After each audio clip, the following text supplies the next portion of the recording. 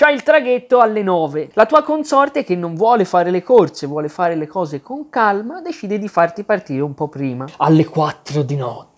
Arrivi al porto, sei sempre mezzo addormentato, vedi così e così, ti appicciano sul vetro quel fogliettino che io non ho mai capito a cosa serve. Te l'appicciano proprio con violenza. Pum! Biglietto? Eccolo. Perfetto, buon viaggio. Pum! E ti appicci al foglio sul vetro. E meno male sei in macchina e te l'appiccia sul vetro. Cioè, chi va a motorino, certe legnate sul casco. Buon viaggio. Pum! Certe legnate. Entri dentro il garage della nave dove ci sono delle temperature vulcaniche. Tutte le macchine, camion, camper, tutto acceso dentro sto garage. C'è un fumaio dentro impressionante impressionante. Ci sono anche le macchine a gasolio un po' più vecchiotte che fanno proprio le fumate nere. C'hai un camper a fianco che ti ha messo praticamente la marmitta in bocca. Pop, pop, pop, pop, pop. Se fai un respiro profondo ti metti in moto anche te. In mezzo a quel fumaio intravedi un cartello vietato fumare. Sono rimasto un po' perplesso, poi alla fine ho capito. Con tutta la benzina che c'è nell'aria, se accendi una sigaretta si salti per aria. I parcheggiatori nel garage della nave sono incazzati neri, incazzatissimi. Con fischietti. Rigore! Ma come arbitro sei buttato? Finalmente parcheggi la macchina. Sei completamente disidratato. L'acqua che c'hai in borsa è cardapiscio. Ci può fare la pasta. Sicché vai verso il bar. Ti metti in fila. Dopo mezz'ora sta a te. Salve, volevo una bottiglietta d'acqua e un caffè. Lo scondrino? Ha fatto lo scontrino. Devi fare lo scontrino. Ti metti in fila per fare lo scontrino. Una bottiglietta d'acqua e un caffè. 12,50 euro.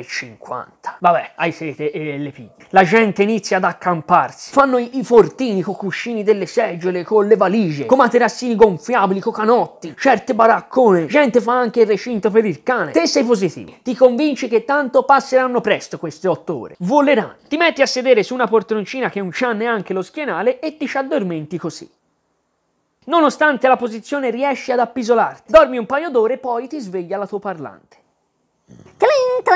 Avvisiamo i gentili passeggeri che il ristorante self-service è a vostra completa disposizione. Alcuni a sentire il nome ristorante non resistono alla tentazione. Devono mangiare. Si arciano tutti torti e vanno al bar. Tutta la gente d'intorno li guarda. Un pezzo di pizza. Dalla sala parte un boato. Oh, ha preso la pizza, visto? 27,80 euro un pezzo di pizza. Si alza un altro, disperato, sta quasi per piangere. Non ce la fa neanche a parlare perché lo sa che sta facendo una stronzata un toast. A quel punto parte l'applauso. 58 euro. Te resisti, anche perché con la fame che hai con un pezzo di pizza ti ci tappi le carie. Un butti giù nulla. Ma al ristorante non ci puoi andare. Passano altre due ore. Moi di fame ma non ci pensi.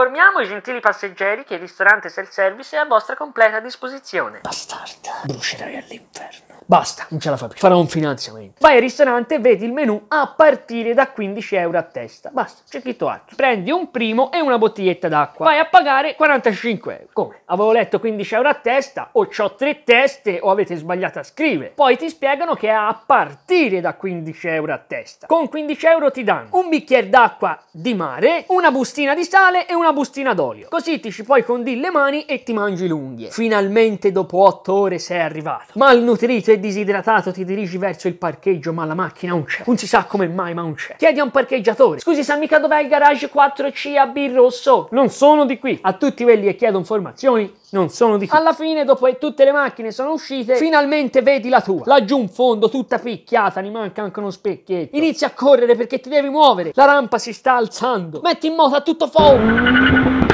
Volo di 30 metri. Tutum. Finalmente sei sulla terra ferma. Puoi iniziare la tua vacanza. Anche se hai già finito tutti i soldi sulla nave, non te ne frega niente. C'hai un solo pensiero che ti tormenta. Il ritorno. Ti logori nel cercare una soluzione e alla fine la trovi. Sai cosa? Il ritorno lo fo a noto.